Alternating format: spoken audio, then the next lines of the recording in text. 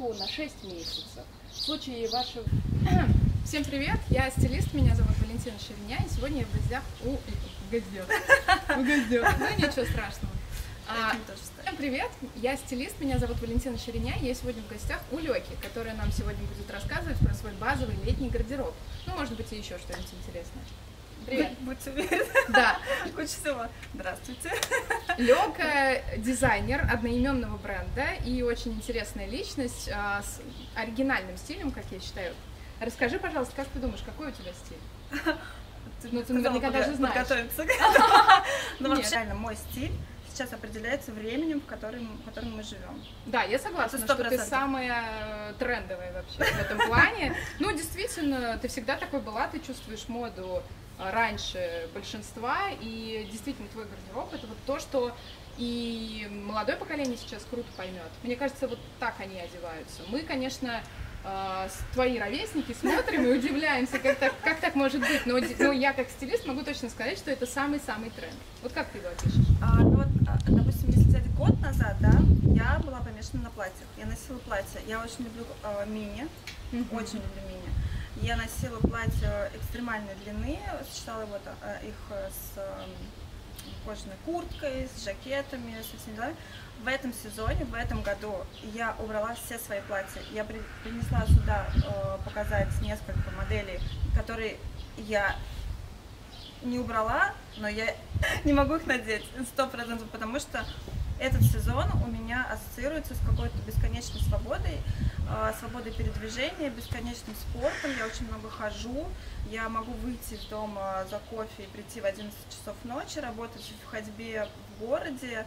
И для, платье здесь вообще не вариант. То есть, как бы, э, сейчас в нашем свободном графике, свободном да, режиме, каком-то в, в работе онлайн, в на работе, удаленке. Да, на удаленке, в самоизоляции много всего поменялось. И в гардеробе в том числе. Так. Ну, общий тренд мы с тобой тоже недавно обсуждали. А, пока прогнозы непонятные, но стилисты начинают говорить о том, что вот эта свобода, мягкость, свобода движения, спорт, он глубже проникнет даже в самые консервативные стили и дресс-коды. И что мы никуда уже теперь от этого не денемся, что желание снова одеваться в узкие, неудобные костюмы, плотные какие-то вещи, в которых дышать тяжело, ну, некоторое время, как минимум, мы не будем. Но интересно, я как Валентина обоснуй, расскажу про вот эти платья с объемными этими штуками. Это же тоже все четко трендово про 2019, когда в центре моды стояла новая женственность и новый феминизм, угу. который как раз говорил о том, что нет, я остаюсь девочкой, я не обязана ходить в мужских костюмах, чтобы вы меня принимали всерьез, я буду девочкой, но на своих условиях, мне будет удобно, я буду одеваться не для вас, а для себя, вот как я люблю, но при этом вот эту женственность я оставлю. Это интересно. Ну вот э, в этом плане свою женственность я оставляю в экстремальной длине. То mm-hmm. есть э, я могу надеть огромные э, винтажные бомберы, я могу одеть все что угодно, но вот именно экстремальная длина выделяет меня как, как... особо женского пола. Ну это будет заметно. Либо э, это как, э, какие-то супер, кстати, я забыла принести, это, э, это черные леггинсы, да, то есть какой-то универсальный вариант. И вообще я человек, который если, а, если мне что-то нравится, в чем я выгляжу сегодня, я куплю таких наборов три или четыре, я могу реально ходить в этом всю неделю, потому что мне комфортно, и мне не смущает вообще, что я буду в одном и том же появляться, то есть, ну, как бы это будет просто еще один дополнительный комплект. Я а, инертная, то есть вот мне стоит запуститься, я буду так, а потом меня может резко переключить на что-то другое, и, ну, как бы... Вот, ну, интересно, вариант, да, да, тоже, это, тоже хороший вариант. А по поводу Норкора, ну, а, не хочется, опять же, уходить прям в какие-то прогнозы, потому что очень сложно. Но в целом вот веяния такие, что и Нормкор, конечно, вот он сейчас останется угу. снова, потому что мы так мало переодевались в период карантина, что многие к этому привыкли да. и думают, а зачем? Да. Вот мне нужно постоянно... Я лично разбирала свой гардероб и думала, господи, у меня на, тут на десятерых лет на 10 вещей, зачем так много вещей? И все, я думаю, это почувствовали вот за этот период, потому что ты мало одеваешься и понимаешь, что Так мало того, я Тебе не почувствовала... надо так много всего. Год назад, а, чтобы я вышла без мейкапа на улицу, то есть это было вообще что-то, ну то есть я даже не могла а, сама на себя в зеркало посмотреть, да, то есть сего- сегодня мой макияж это пудра и бесцветный гель для бровей, все, я даже перестала ресницы наращивать, потому что а, я понимаю, что а, в принципе ничего не меняется. Мужчины как обращали внимание, так обращают внимание, да, то есть как бы а, люди на тебя реагируют там в обществе абсолютно нормально, то есть если даже что-то, то есть ну как бы я а, я не выгляжу как обычный человек.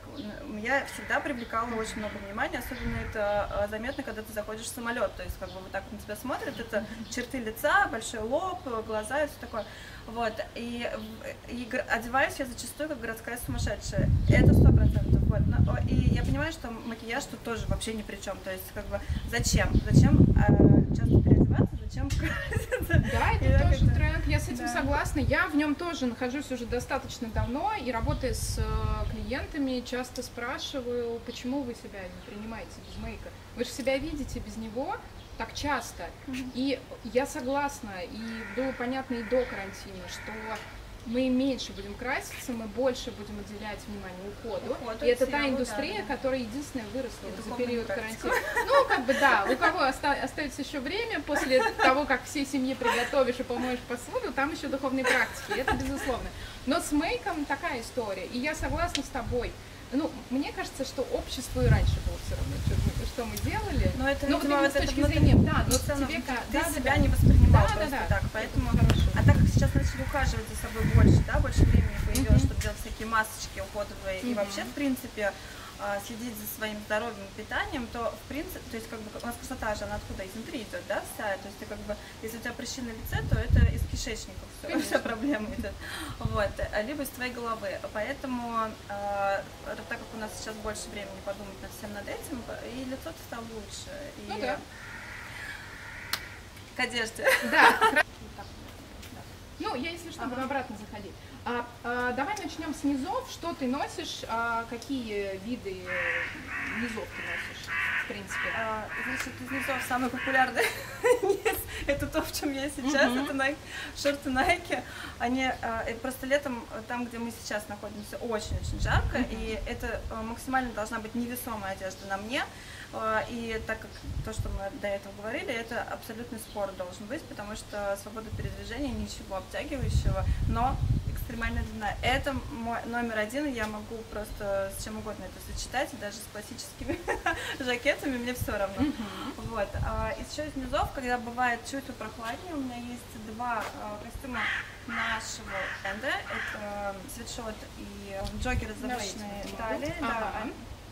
с карманами. Они очень круто сидят, они Мгм. подчеркивают За фигуру. щипами немножечко, Да. да? Мгм. Я ношу это с, вот, с топом, которых у меня три штуки.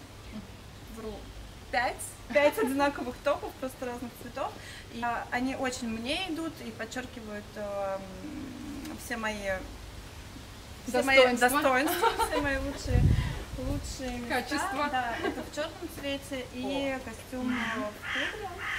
А что ты любишь больше, темный цвет или светлый цвет? Я вообще никогда в жизни не носила пудровые оттенки. Никогда вообще. Я в этом вообще сезо- удивлена. Да, в этом сезоне у меня мало того есть костюм, у меня есть пудровая футболка. И когда даже мы производили эти футболки, я подумала, что, ну, блин, э, есть девушки, да, которым очень все это идет, и они будут носить.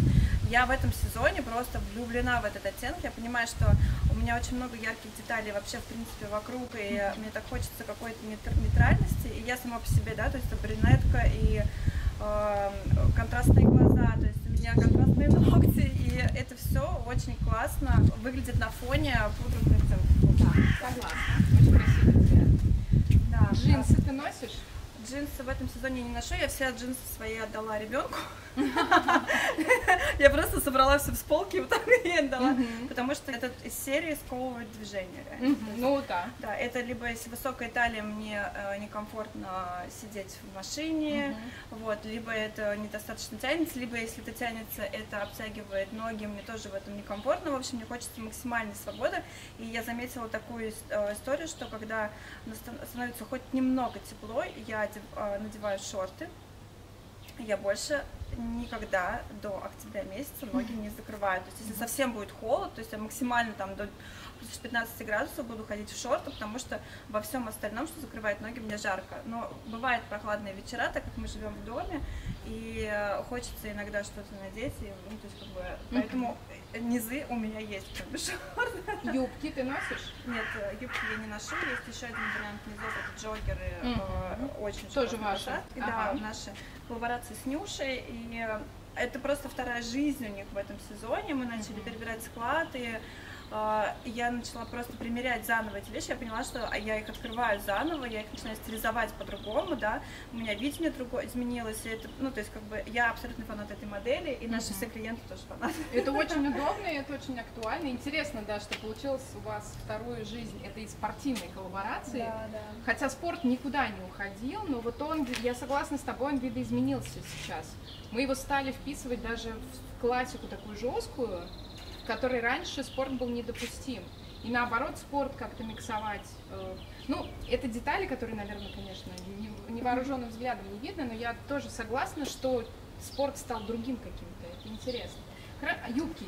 Юб, нет, Да. нет, покажу два, два варианта платьев. Давай, которое, да. э, это платье, оно просто стоило 500 рублей реально. Я покупала ребенку на Новый год, она заказала себе толстовку в Страдивариусе, и я просто увидела за 500 рублей, пла- э, это Колумбе, э, и оно настолько мне идет, и настолько мне идут вот эти вырезы, и оно такое свободное, причем это огромный размер, это единственное платье, которое было, и я его просто всю весну носила вот с этим пиджаком нашего бренда с милитари подкладом, и это выглядело настолько, с кроссовками это выглядело просто классно. С грубыми ботинками, Да. потому что это чистый гранж. Да. И свободные плечи. Ну, в общем, э, я фанат вот этого лука была. Я, это если бы у меня было еще такое, я даже хотела найти точно такое же платье. Я попыталась это сделать. Попыталась это сделать и заказала на так как мы с принтами вообще в бренде ну, мало работаем. Вот я заказываю всякие принтованные вещи где-то в других брендах. И это платье я заказала, мне недавно пришло на Asos. Оно выглядит халатно абсолютно, ну, то есть как бы это просто такой деревенский вариант. Но когда я его одеваю, э, с, надеваю с шишкой, с какими-то крупными украшениями, с кроссовками, с кожаной курткой, это просто потрясающе. Да, я согласна, выглядит Реально, круто. Мне ре- принт нравится. Да, и он приятный материал. Я потому что больше люблю а, чуть, хотя к цветам тяжеловато отношусь, но а, просто красный с черным это чисто гранжевый принт. Мгм. А, я на себе вообще не могу, но ты более яркая, в любом случае на тебе это смотрится все Ну вот в классно. таком духе Да. это все выглядит очень-очень достойно. Ты носишь это с кроссовками, да? Давай Да. покажем обувь твою. А, обувь это тоже из серии, когда ты покупаешь одну модель, а потом еще три таких же. А, Ты меня- всегда такой была или вот у тебя последнее время так? А, Мне кажется, да. Я просто недавно задумалась об этом, потому что я вспомнила свои детские фотографии, когда все мои сестры ходили, сестры и подруги ходили в платьях. Я сидела в одном и том же спортивном костюме. Мне было офигенно комфортно, удобно. Я себя чувствовала просто потрясающе. Я реально одна была в свитшоте и в джоггерах. Мгм. Одна. И всегда это было, ну, типа, серия Adidas, что такое. Ну, короче, это было что-то, это было модное, даже Мгм. сейчас я смотрю на эти фотки. Вот, и мне, я просто чувствовала себя, видимо, комфортно в одном и том же, да. Ну, не знаю, наверное, да. В общем, у меня есть модель любимая э, кроссовок Nike. Сначала я купила эти, потом я купила эти, потом я купила... А черные у тебя отличаются только цветом подошвы. Они вижу. только цветом все отличаются, это одна и та Ну, же я имею в виду, даже вот у тебя же две пары черных, но разная Да, подошва. да, Мгм. разные подошвы. Я еще планирую белые привезти. Мгм.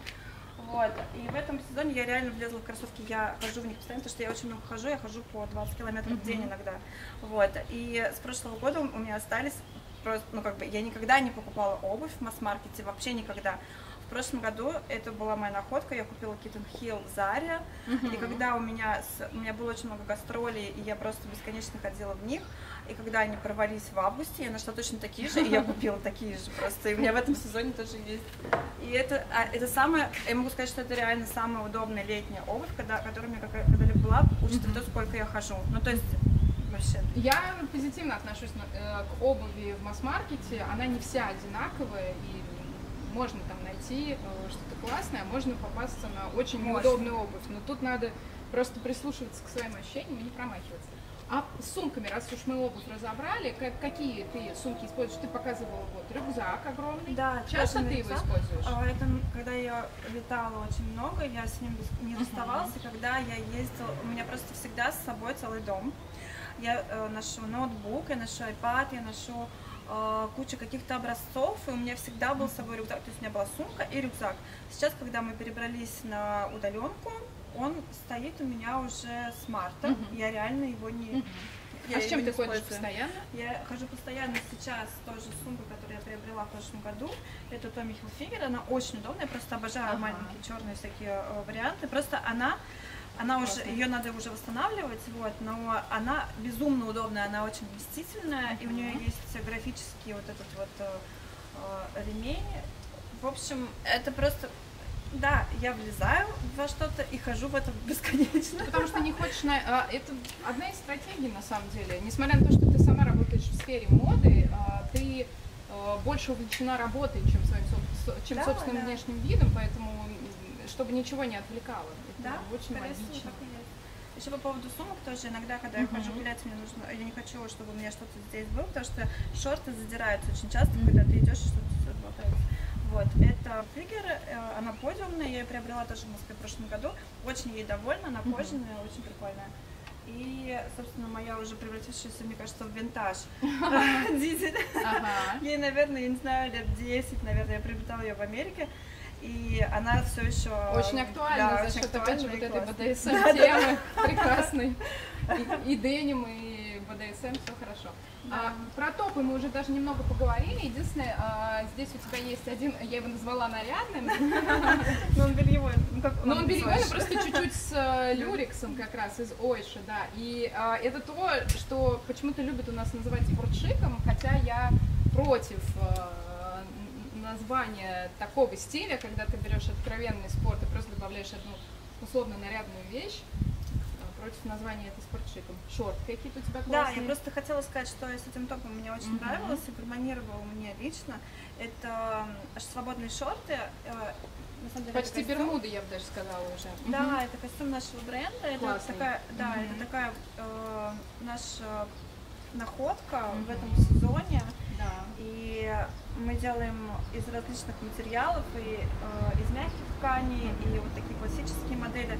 Ну, собственно, это, наверное, эм, первый мой костюм, к которому я пришла, и в котором мне абсолютно комфортно, и я в нем очень часто ходила в ресторан. А ты раньше не делал, э, не носила костюмы? Нет, никогда. Ну вот это прям 80-е, очень мне нравится. Как раз э, э, бермуды свободные и такой пиджак мужского опять кроя, как вот с чужого плеча, очень объемный. Все это круто.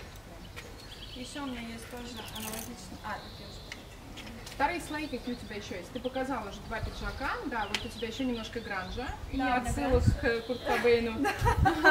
Это тоже из серии я покупаю несколько моделей одного и того же. Я ждала, пока откроется H&M, физические магазины. И э, что я хотела приобрести э, очень-очень длинную, очень большую фланелевую рубашку хотела. Я так хотела, что приобрела сразу четыре цвета. Когда все это открылось, просто а, в других брендах не настолько они длинные. То есть мне очень нравится, что здесь правильная длина, и она закрывает, она как платье идет, да, у нее длинные рукава, и в ней очень комфортно гулять. И опять-таки это такой отсыл к деревенскому образу жизни, но мы все сейчас живем э, за городом, да, мы работаем на удаленке. Это просто очень комфортно. У меня есть такая желтая, красная, зеленая и еще э, не, не фланелевая, а такая более пля- пляжный вариант голубой. Прекрасно. Ну, в общем, и э, тоже оттуда же, да, это тоже стоило, наверное, рублей 30. А, тоже H&M, да? Да, это тоже H&M. А вот и- размер какой у этой Элька? Это Элька, но она женская, а это мужская рубашка, и у них одинаковая пройма, и очень хорошо идет, потому что не все, э, не весь верх можно эм, надеть на св- свободные. Ну да, модели. чем больше вещь, тем больше под нее залезет. Как крутая, кстати, вообще абсолютно. Я вот не видела ее. Она в как рубашечного оффлайне. кроя, да. да. Она одна висела вообще. То есть та- ты ее прям в оффлайне купила? Да, да, А, когда я ты- даже не видела. У нее сзади удлиненный вариант. Ну, короче, Круто, это, это очень прям крутая. классно. И мне да. нравится вот этот светлый деним, который прям такой из 80-х. Я Да. прям обожаю его, конечно. Вот из винтажа тоже давай тогда я расскажу Да. А, Это моя находка тоже. Я была на выставке Патифилате во Флоренции, и там был павильон, посвященный винтажным вещам. Я так кайфую. Это было в прошлом году, Это да? было в прошлом году, да. Я, она очень тяжелая. Это э, какая-то просто удивительная Мгм. вещь. Она супер сложная по вышивке, по каким-то вставкам. Мгм. Она не первой свежести и явно ей лет 50. Но, а, во-первых, она меня спасла, когда я прилетела из Италии в Москву, потому что в Москве был минус в июле. Вот. И я просто не замерзла, она дала мне не замерзнуть. Во-вторых, это настолько привлекающая внимание вещь, она с огромными плечами. И, Ну да. э, да, и очень классная. И меня многие просили повторить ее. То есть вы Да, можете да, да. сделать такую же. Вот, она очень классная, и я единственное, что хочу на ней поменять эм, Резинки. да, резинки, потому что они действительно уже поюзанные все. Мгм. и выглядят не очень. Нет, выглядит она очень круто. Ну, я не думаю, что ей 50. Но Ну, какой-то расцвет бейсбол, я думаю, это 80-е, может быть. Круто. Хорошо. Как 40. Что мы в 20 году. А из винтажа что-то есть у тебя еще? А, Или мы это все уже показали? Ну, э, если, ну, как бы, Ну, если мы, да, про сумки мы говорили, то, что это сумка, которую я тоже приобретала в Нью-Йорке, я считаю, что она до сих пор актуальна. Мне даже не хочется ее укорачивать э, ремень. Ну, то есть она такая вся, она такая моя, ну, то есть это прям вот мое-мое. Вот есть вещи, которые ты видишь и понимаешь, что, что это просто твое. Это был как с бомбером. Я реально... э, Ну да, он как будто про тебя. Да, я, я шагнула из павильона, думаю, завтра приду на выставку и его куплю. А потом думаю, а если его кто-то купит, я же не переживу вообще. И я Конечно. вернулась, и я тащила его. А как ты относишься вообще к люксу, к дорогим брендам? Что ты думаешь на эту тему? А, из дорогих брендов я всегда покупала обувь, я покупала сумки. А, то есть у меня очень-очень большая коллекция именно брендовых сумок, обуви. И я была, я, был, я фанатка была обуви Прада. У меня Мгм. практически вся обувь была Прада и сумки. То есть у меня тоже несколько сумок и Шанель или все. Вот. Но э, так как я произвожу сама вещи, то есть э, эм, я покупала всегда брендированную, э, брендированные вещи, то, что я не могу сама произвести. То есть у меня был такой посыл. То есть это, это было из серии Деним, это сумки, ну, то есть аксессуары, да. Вот. А сейчас же, сейчас вообще кардинально поменялась ситуация в сторону того, что мне все равно. Мне реально абсолютно все равно. Для меня должна быть ценность э, в чем-то другом. То есть это не в имени 100%, это даже не в качестве дела, потому что э, одежды, э, мы когда сели на карантин все, да, мы начали собирать всю свою одежду, перебирать ее, перебирать гардеробы. Я не знаю, как, я думаю, что у многих так. Это вот огромные горы просто одежды, иногда той, которую мы даже ни разу не надевали. И ты просто смотришь на все на это и думаешь, что, господи, это, это куда все? Да. Да, очень много вещей появилось э, в моем гардеробе в этом сезоне. Это из серии «Вторая жизнь». То есть я находила, я понимала, что ага, да, классно, я в том же весе, и я точно тоже могу, точно так же, я просто смиксую это с какими-то другими аксессуарами, и никто даже не поймет, когда это куплено, да, и я поняла, что я больше не хочу покупать вещи. Ну, то есть, Мгм. да, Я думаю, многие это ощущение словили. У меня было то же самое. Я просто, во-первых, я удивилась. Я впервые разбирала гардероб по методу Мари Кондо, когда надо все в одну кучу свалить. Все. Мгм. И это просто гора, которая задавит меня. И еще, вот, и мой вывод был, э, если все заводы на свете встанут, мне еще десятерым человеком такого Да. же размера хватит одежды вот еще надолго. И зачем еще покупать, зачем еще производить? Я думаю, все словили это. Я как производитель и как э, владелец бренда, я именно по этой причине год назад остановила все тиражи, остановила все вот эти вот э, складские программы, я закрыла все магазины, потому что ты не, я не понимала, куда уже больше, Мгм. да, то есть дизайнеров больше и больше, показов больше и больше, а, а что мы смотрим? Мы смотрим одно и то же, вот, поэтому э, я год пребывала в какой-то такой скрытой, э, для себя необъяснимой депрессии, такой тихой, потому что я не видела цели, куда мы все Мгм. движем, движемся. И когда случилось, Я поняла, господи, спасибо, спасибо, вот оно, просто сейчас будет что-то новое, да, Да. То есть, а потому что дальше уже некуда было. Ну, В таком темпе и в таком объеме Да. нет, и это очень забавно, как это все сработало, потому что действительно разгонялась мода, Мгм. и она потеряла связь вообще с реальностью. Мгм. А, Мы про эти тренды говорили каждый месяц, они менялись, и люди уже, ну просто 99% даже помешанных на моде говорили, что происходит, зачем нам вот так много всего, зачем вы снова тащите на подиум то, что три года назад уже было, Мгм. и обыватели даже еще не успели это понять. То есть он, он уже, а мода стала существовать сама ради себя, и в этом нет смысла Да. никакого. Ну, просто бюджеты крутятся, да, Конечно, нужно Нет, мы понимаем их деньги. мотивацию, Да, конечно, с но ты нужно отрываешься. подавать. Изначально одежда очень прикладная штука. Понятно, что там много-много-много всяких навешивается на одежду других нефункциональных задач, но когда это совсем стало не совпадать с тем, куда движется общество, она должна была схлопнуться. Да. И вот они сейчас, да, сокращают количество показов, кто-то пытается не отказаться, ну посмотрим. То есть непонятно, Мгм. мы находимся прям в самой середине процесса, и Ну, это интересно. это очень интересно. просто. и- и Как кру- сериал смотрим. Да, и круто, что ты действительно и в этом, и в отношении своего бизнеса чувствовал заранее это все. Мгм. Оно в воздухе, его невозможно игнорировать. Да. Если ты совсем оторван от вообще вот этого космоса, то, конечно, тебе кажется, о боже мой, как это могло произойти. Но в глобальном смысле это было уже понятно, уже Да, просто когда запускается машина, я просто это очень хорошо понимаю, потому что я в этом жила а, практически 10 лет.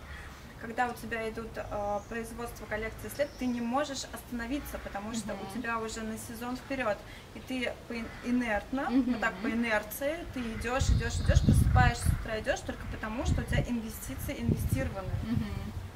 И ты не можешь э, взять, просто прийти, допустим, всем своим людям, да, всей своей команде сказать, ребят, все, короче, мы, сего- мы больше не работаем, потому что у меня депрессия, а я не, не пойму, куда мы движемся, да, все. Для кого мы это все Да, для кого мы все это производим? Люди э, не хотят терять работу, люди, и так по всему миру, так у всех брендов. Конечно, это такая Да. индустрия, ее невозможно вот так просто выключить рубильник, обязательно Да. кто-то пострадает. Да. Но, ну а как по-другому? Нет других вариантов. Что про твой еще гардероб мы не рассказали. По брендам. Ну, про бренды ты сказала. Сейчас, соответственно, у тебя... Можно я расскажу про свою вообще любимую вещь? да. Эта вещь просто, я не знаю, в каком году мы ее произвели. Наверное, была коллекция, произведенная в 2015 году. Это коллекция 2016 года. Это моя любимая кожаная куртка. И я в этом сезоне даже хотела, когда- учитывая то, что у нас должен был состояться показ э, детский в марте, я хотела даже ее почикать и переделать э, для детей. Но потом, когда мы заморозили все, я просто ее вот так выдернула с, э, с рейла и поняла, что я ней не расстанусь, мне кажется, никогда. Это моя кожаная куртка, которая просто на века. Ну да. Но Ну, она у вас, тоже... вы, она вы с кожей вообще круто работаете. У вас, конечно, Да, ваши да. кожаные изделия очень необычные. И призы брали, да? Да, да, да, мы вошли в топ-6 э, производителей, лучших производителей, работающих с кожей в Милане, и э, стояли на выставке на Милана Уника. И вообще, то есть, как бы мы очень люб- любим работать. Ну, то есть сейчас понятно, что все на паузе, вот, но вообще мы очень-очень круто работаем с кожей, умеем это делать. И все наши кожаные, это моя просто любовь, большая любовь, несмотря на всю мою тоже любовь к животным и ко всему вегетарианству, вот, ну, то есть, но кожаные вещи, это, простите, это реально, я даже своей дочери, возможно, потом это будет винтаж. Ну да, потом это будет Флоренции. винтаж, тоже будет модно. А, а, ну, наверное, у меня вопросов больше нет. У тебя такой он достаточно еди- единообразный по стилистике, и глядя на этот гардероб, вот э, я прям тебя вижу. Тут э, это, это круто работает, когда человек все про себя понял и не отвлекается. Это классно. без. Да, потому что, ну, э, серьезно, при разборах гардероба это вот самая частая проблема, что вот человек пытается что-то изображать с помощью одежды, Мгм. кого-то копировать. И в итоге, вот если от- оторваться от, rea- ну, от личности, открыть шкаф, ты вообще не понимаешь, кто это. У него что там, мультипликация личности или что это за человек вообще. Мгм. А когда это все, ну вот я про свой гардероб так могу сказать, я, я знаю, что это человек с единой какой-то линией. Пусть там количество вещей может быть разное, но это один человек, а не Мгм. пять. Там не подсажена бабушка, там, не знаю, молодой человек бывший. То есть нету этого ничего. И это круто, к этому надо стремиться. И главный тренд э, ближайших лет в любом случае будет помимо норм кора, удобства и так далее, вот эта вот история про а, пора, э, пора рассказывать про себя. через одежду. Мгм. Не про кого-то. Не про то, что сколько я зарабатываю, а, какая у меня профессия, а кто я на самом деле. Это вот э, я слышала, да, такую фразу, как то, как ты выглядишь, твой диалог с обществом. То есть это Всегда, твой- конечно. Да, да, да.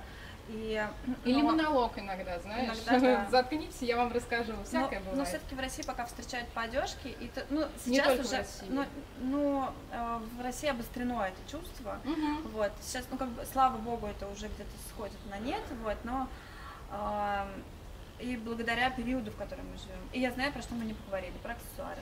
А, да, Да, про, про про украшения. украшения, да. да, потому что я их не ношу вообще.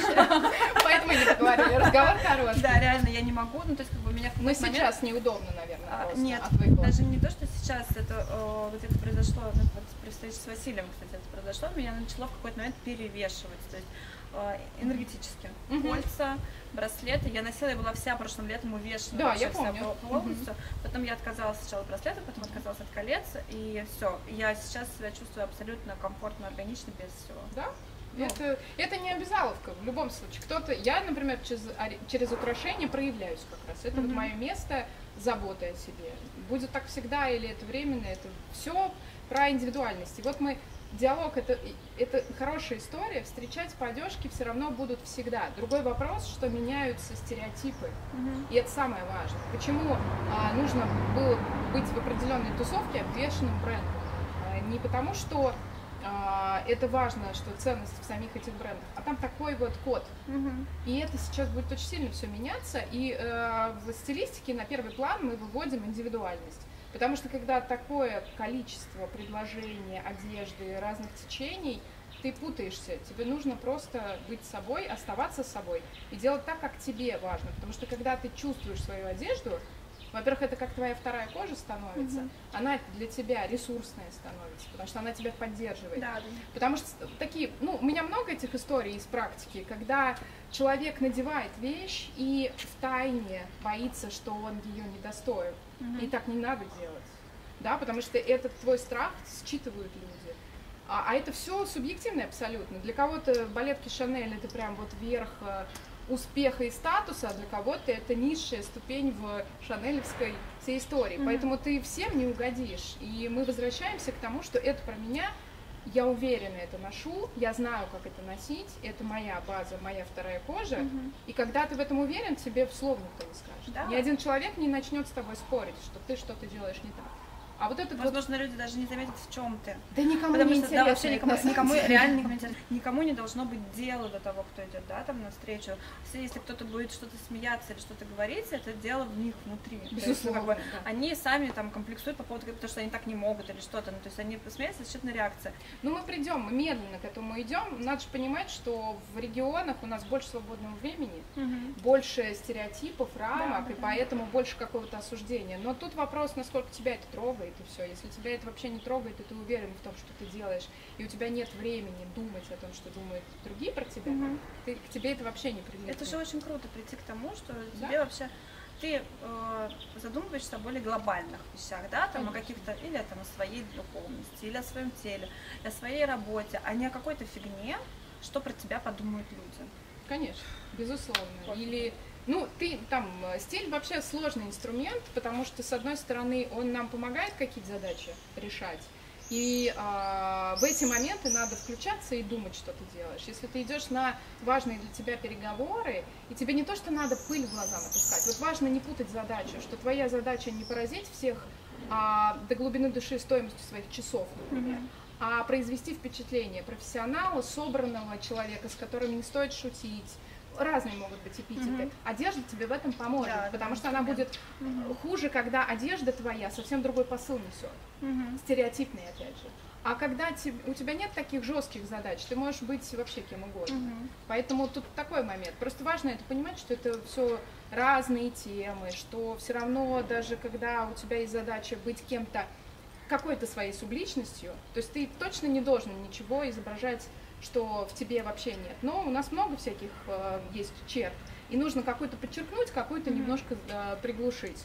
Если ты в этом уверен, и ты знаешь, что это твое и про тебя, на тебе это будет всегда смотреться гармонично. Мгм. Много говорят про эту гармонию, никто ее не может описать, А гармонично это когда твое внутреннее совпадает с твоим внешним. Мгм. И у тебя это может меняться легко. Тебе раньше было в футболке гармонично, потому что ты себя таким человеком ощущала. А потом тебе гармонично в мужском костюме. Why Да, not? это Why может not? случиться Конечно. там раз в неделю, это может быть Да. смена сезона, это может быть когда угодно.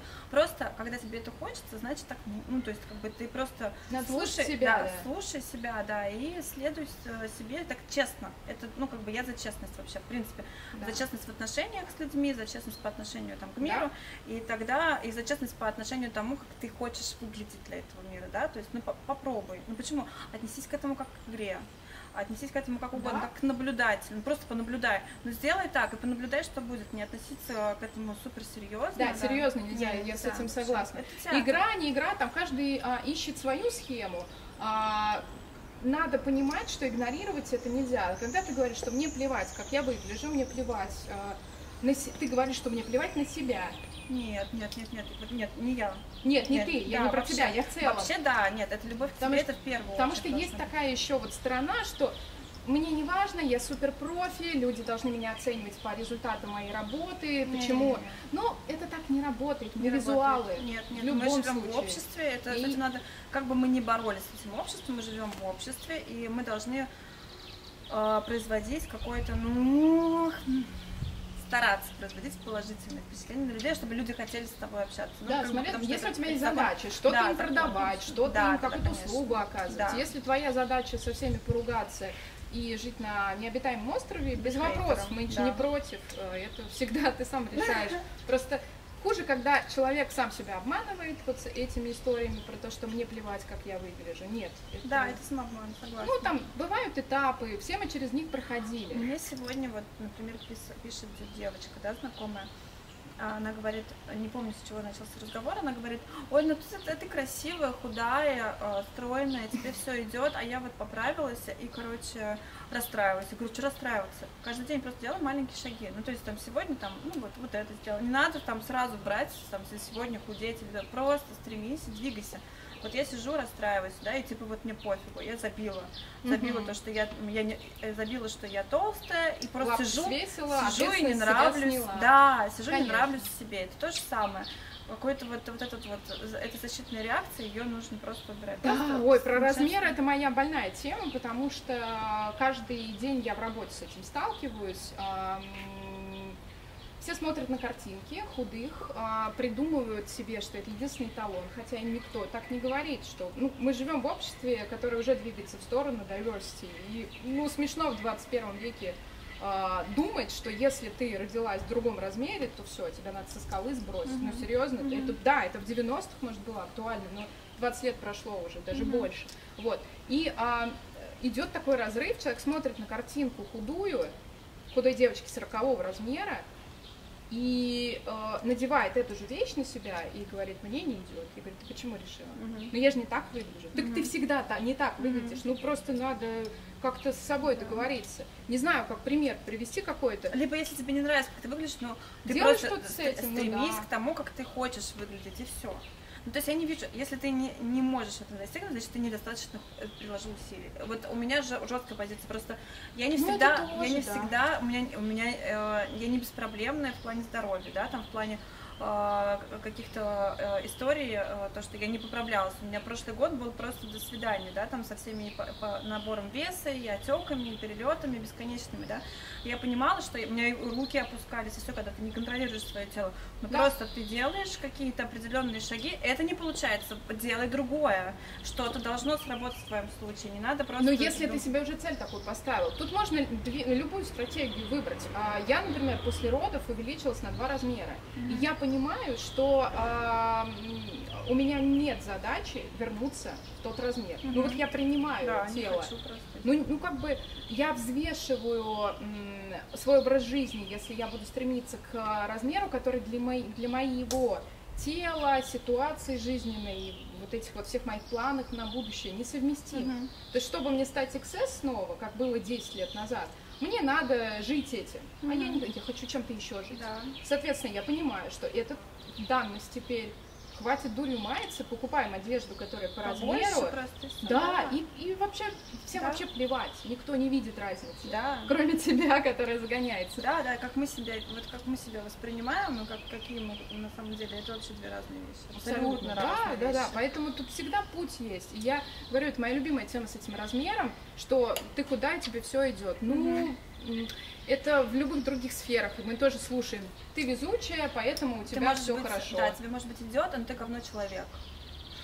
Ну, это, да, ну, но но тебе это не самоцель, но это не сама, всё идёт. конечно. Одежда вообще не самоцель и не единственный показатель счастья Конечно. и успешности. Да, Успех или и ты счастье там не- разные не- не- вещи. супер, у тебя все идет, но ты невезучая. Или что-то еще. У всех людей есть свои какие-то, э, они все живут какими-то своими заморочками, проблемами, Конечно. поэтому, но внешний вид э, в любом теле, в любом весе может выглядеть прикольно. Да быть довольны этим. Довольны Там, там как да. бы тут надо смещать просто лог- э, фокус контроля не на внешнее, что вот если я им нравлюсь, значит со мной все в порядке, а на внутреннее, что это я. Да, да, да. Ну как бы, как будто я все время тоже смеюсь, что как будто если а, ты будешь очень сильно на себя ругаться, а, высшие силы такие скажут, ну ладно, бери другой, вот тебе другое Да. тело. Ну так же не будет, Да. поэтому смысл тут как-то не в этом, а в том, что исходить из того, что мы имеем. Ну, легко на других смотреть, думая, что им все достается легко, а ты один самый да. несчастный. Потому что я это еще и по работе часто слышала.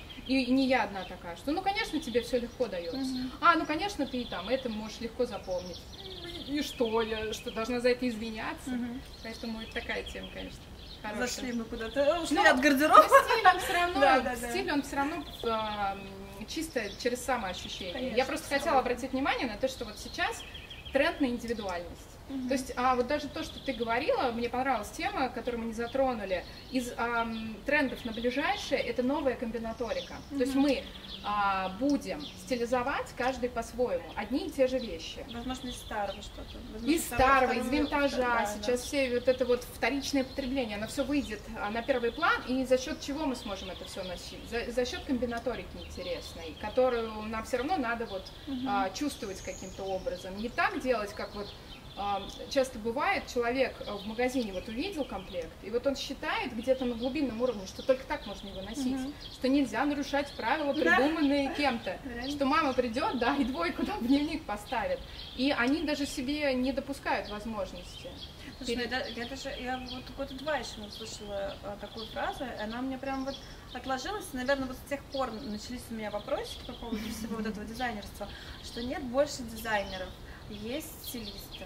Все. Ну, то есть, как бы придумано уже все. Велосипед изобретен Да, уже да, давно. да. В любом направлении. Да, все изобретено. Вопрос в том, как это ты стилизуешь и подаешь там на подиуме Да. или в своих магазинах и так далее, да? Вот, тем более в век наш, в век информации, ну то есть как бы вот это вот обилие одинаковых всех вот этих вот брендов, да, там с э, даже не буду называть Да, с да, чем, да, да. вот, и, но это все можно применить, примен- это же, это же реальная игра, это интересно. Каким Да. образом ты просто покупаешь вещь и просто начинаешь играть. И ты э, ставишь себе задачу, не задачу, ну просто ну, относиться к этому легко, э, э, то есть какая-то легкая такая задача, а как это, например, сделать так, чтобы эту вещь вообще никто не узнал, откуда она, то есть, Да. да? То есть, э, даже если кто-то ее видел 300 раз в магазине в одном и том же, ты просто ее стилизуешь так и подаешь так, чтобы все, вау, где ты купила эту Да, вещь? это она просто продается. У меня это работает все пять лет, пока я в стилистике, где-то взял эту вещь, а я же постоянно в сторис еще показываю Мгм. какие-то вещи. За мной идет клиент а, или мой подписчик и говорит, я не вижу эту вещь. Ты понимаешь? Но Да. Настолько у нас а, вот, э, туннельное зрение и понимание, на витрине может вещь стоять. Я, как стилист, на это внимание обращаю, и я потом думаю, ой, с витрины человек купил, как ему вообще не Мгм. страшно, а при этом все остальные 99% прошли мимо и даже не заметили. И а, у меня постоянно про лодочки из Зары спрашивают, где ты их взяла. Мгм. И никогда не верят, что это Зара. То есть, Мгм. ну, у всех свои какие-то там Да. представления. И стили... ну, вот эта стилизация, вот эта комбинаторика, это будет то, на что стоит вообще заморочиться, над Мгм. чем стоит думать. Да Это прикольно. Да, Вот это поговорили, я так интересно. вдохновилась, мне так хочется что-то взять и как-то замиксовать совсем по-особенному, по-интересному, потестить это в городе. Тестить в городе это вообще самое крутое. Вот в последнее время я понимаю, что я мы что-то делаем, какой-то дроп, да, мы выпускаем, и я просто надеваю и иду тестить в городе. Ну, то есть на комфорт, на то, Ну как люди реагируют. Это было вот в эти выходные, я просто надела наш новый трикотажный костюм. Да, кстати, ты Да, шорты. Очень-очень классный. У меня сто- столько внимания ко мне очень мне все писали, «А, мы тебя видели. Ну, правильно, я прошла 20 километров по городу, весь день ходила. Вот. Кто-то меня фоткал, выкладывал. Слушай, элементарно, трикотажные шорты, это, знаешь, э, решиться на них э, нужно прям, вот мало кто на них решается, хотя это вообще круто. Супер худящая идет, вещь. да. Это очень худящая вещь. Свободные шорты, они просто делают из вас на э, То 10 это как килограмм. юбка, я не понимаю, в чем Да. разница. Это как с кюлотами. А, кто-то где-то сказал, что кюлоты укорачивают ноги. Блин, а юбки вы как носите? тогда? Да, я что-то не юбки, понимаю. вот у меня вот тоже сейчас вот просто я смотрю, Это даже что какой бы я мини не одела, у меня все равно ощущение, что шорты все равно лучше. Как-то А при этом это одно и то же, вот да. по длине. Поэтому это, это все стереотипы, которые сидят. И если. Но при этом в этом есть плюс. А, Когда ты живешь в таком консервативном обществе, а тебе хочется привлекать к тебе внимание или быть каким-то другим, ты просто берешь то, что вот на поверхности, шорты, ну что вот сложного. И все, и ты уже в центре Да. внимания. Да. Классный какой. Да, я, а я его у тебя как раз в сторис видела. Какие у вас цвета еще есть? А, будут сейчас пудра и будет черный. Мгм. Вот очень жду черный, потому что это будет вообще такой прям супер э, какой-то прям на грани офисного, да, варианта, Мгм. и он будет э, максимально универсальным. Ну, то есть я прям очень жду черный, Мгм. очень хочу. Я Вот. уверена, что такие вещи будут носить в офис. У меня Да. просто сейчас вот идет дискуссия с клиенткой, как, которая как раз боится мягкий жакет надевать в купить в офис. Клиентка вчера приходила тоже, она говорит, а я думала, у нас костюм на ткани. Да какая разница? Да Ну, это то есть, удобно. Да, это, удобно. Ну, это вот просто И тренд. перелет, кстати. Понятно, Перелет. что да, кстати. Да. Потому Не что мы мнется. все равно вот эту классику со спортом вот теперь в таком виде будем иметь. И это, возможно, вообще глобальный тренд. Мы пока оценить это не можем, но мне очень нравится эта идея. И это так круто, когда ты входишь в тренд, еще пока он даже не появился. Это значит, что ты 4 года вообще в теме. Вот я сейчас на обучении, они нам говорят, что мы в среднем потребляем вот на массовом уровне, на мировом, 2016 год. Понимаешь? Мода 2016 Мгм. года. Поэтому а, у тебя как у дизайнера, у меня как у стилиста еще 4 года. Я могу сейчас купить вещь. Да, не все решатся, не все мне доверятся. Но кто доверится, он в этой вещи еще 4 года просто на пике будет. И только через 5 лет а- а остальные ее купят. Но это же круто. Да, мы в тренде. Да, мы вообще всех опередили. Наверное, мы с тобой все обсудили. Спасибо большое, это было очень интересно, как всегда. Я Да, в рада. потоке в каком-то мы были сейчас.